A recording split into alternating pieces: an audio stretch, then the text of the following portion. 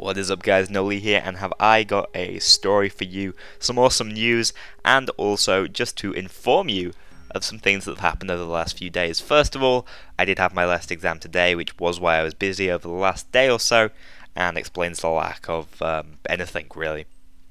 Um, secondly, we received these two masks. We received the crossbreed and the orc. I won't go through the masks fully, I'll just show you what they look like, try and sell them to you.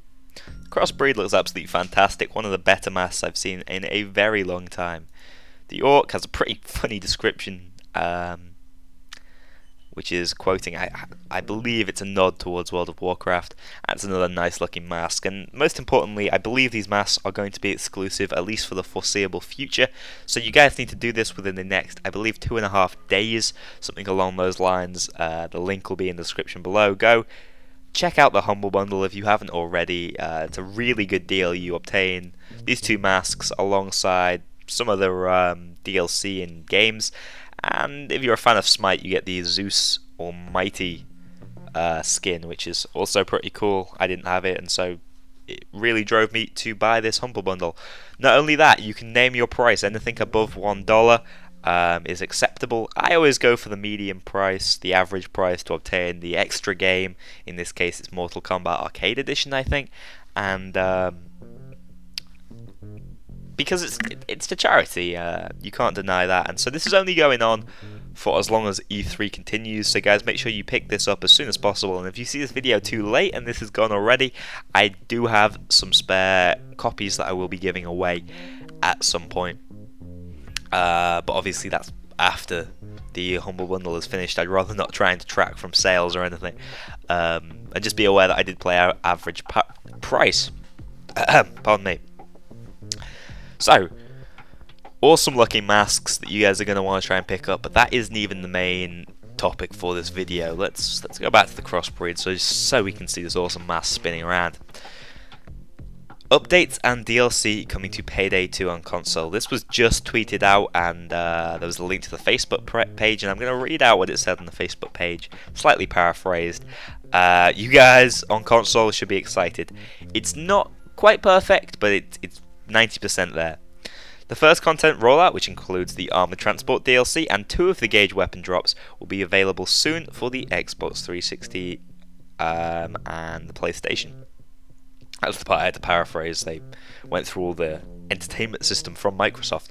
Um, players will also have the option to purchase Swag Bag Number 1, which contains all three DLC packs at a discounted price. More details and dates to follow. So we don't know a date specifically. You could say we're in the exact same position we were before, but we have a name.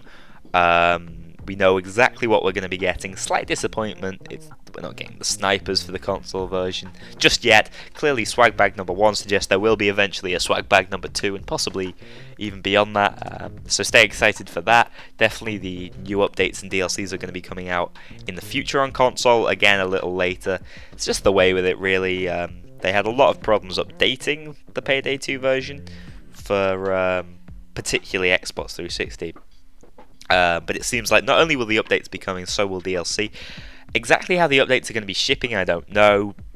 They should be free. Um, I'd be very surprised if they weren't. But part of me seems to think they might be coming alongside the DLC. But the idea of buying DLC for updates which are free seems a little bit odd. Um, but be aware, more updates coming for console. We don't know exactly when it is. Um, but this is going to be the first DLC drop, and you guys should definitely stick tune, stay tuned for it. Uh, keep an eye out, and I'll try and let you know as soon as I possibly can exactly the date, exactly the cost, um, and what version of Payday we're going to be getting on console. I forecast around about 20, um, probably no later than that. But it's a huge step in the right direction. Those of you console fans, I see so many comments saying, I used to love this game. The life was sucked dry when we haven't seen any updates. It's just the same old unfinished game. Well, we're moving towards a finished game on PC over here, and you guys are going to be seeing that very soon. So I'm glad my predictions made about five months ago weren't completely off. Well, they were completely off. That's ridiculous, but at least we're getting them now. So that video becomes more relevant again. Fortunately, I, uh, I think I was getting more and more comments saying you're lying to us you don't know nothing, which, to be honest, it was speculation. It wasn't speculation without reason, but now we've got it. I'm excited, and of course, I have the Xbox version, and will most likely be buying this, and it's going to bring the game back to life for me. Um, of course, the PC version is still as it always was. So, awesome new things happening to Payday over the next few weeks. Um, not only are we going to get the big DLC bank heist, we're also going to see huge changes to the console versions and of course, remember you can pick up these masks for as cheap as a dollar on the Humble Bundle website. You're going to find the link in the video description below. Thanks a lot for watching, guys. I will see you all in the next one.